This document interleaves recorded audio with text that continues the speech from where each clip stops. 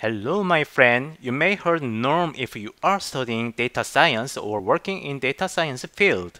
I hope this video helps you fully understand what norm is. Okay, what is norm? You can read the definition from the Wikipedia here and check the equation, but in short, norm is to measure length or size in the vector space. Since it is measured, any norm results in the positive number. As you can see in the equation here, in the equation, it is just sum, sum of the absolute value. And the important factor over here is the p. If this p is 1, we call it L1 norm. If this p is 2, then we call it L2 norm. So I'm going to show you when to use L1 norm now. So the L1 norm equation is going to be like this. P is 1. And this is a very simple equation.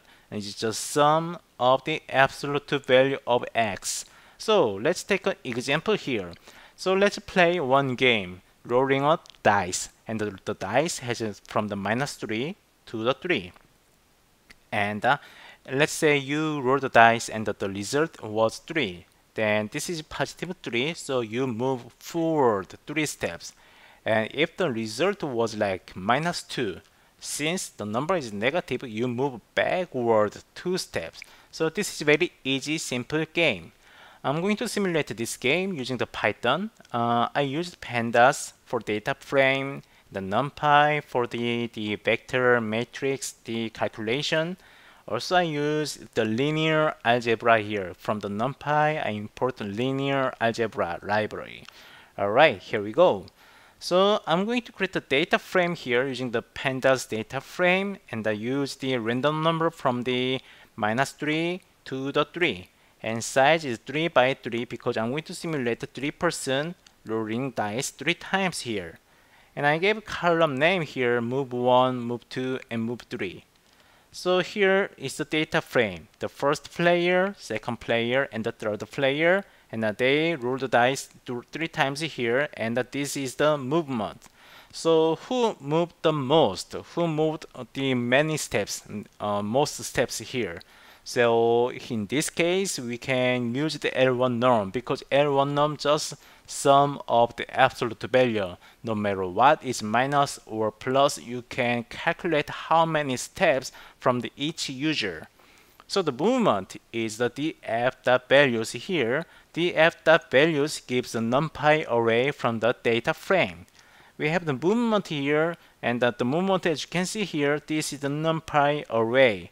And I use the linear algebra library here, that norm to get the L1 norm here.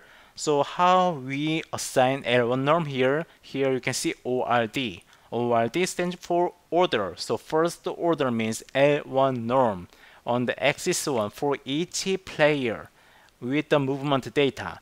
So L1 norm for the first user was 4 and the second user is 3 and the third user 7.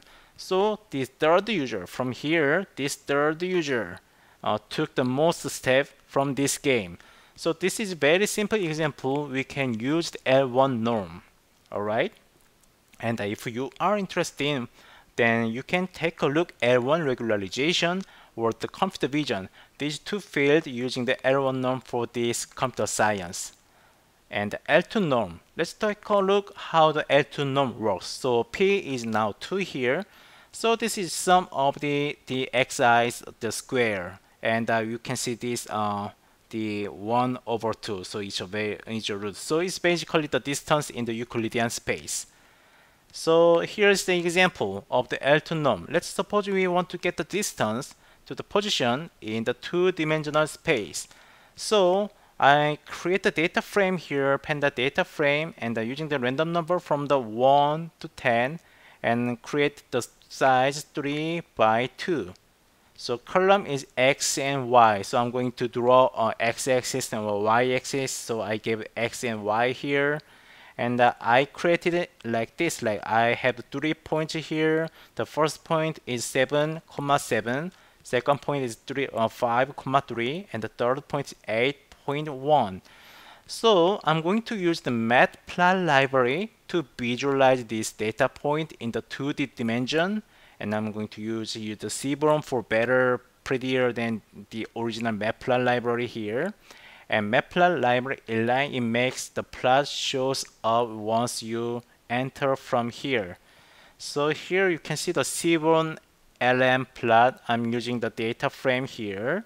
And uh, I don't I don't I don't draw a line, so I gave force here and uh, scatter KWS 200 for the marker size. And I gave title data point visualization using plt.title here. And the x level just x, y level y. And if you hit enter, you can see the data point in the two-dimensional space here. So I want to know the distance from the origin here 0, 0.0, 0, 0,0 is the origin to the data point here and the date, uh, distance to here and distance to here. Alright, so data points, I'm getting the value from the da data frame that values. So this data point now is a NumPy array. So first point is 7, 7, second one is 5, 3, third one is 8, 1. So which point is the nearest from the origin? Well, we can use just the linear algebra library here, linear algebra uh, dot norm so this is just same API that I used for the L1 norm, but I gave OR2. Order 2 means the second order, right? So it's L2 norm for each data point using the data point here. So I got the L2 norm here. L2 norm here, so second data point here, 5,3, so 5,3 here. This one is the nearest from the origin, right? This is correct. Okay, L2 norm worked very well. And uh, if you are more interested in this simple example for the L2 norm, you can take a look KNN algorithm or K-means algorithm. There are tons of algorithms using this L2 norm. So feel free to check it out. And anytime if you want to see or practice this uh, IPython notebook, you can go to my GitHub website here under here, like the github.com, my name underscore python underscore tutorial. Okay, thanks for watching and I will see you on the next video.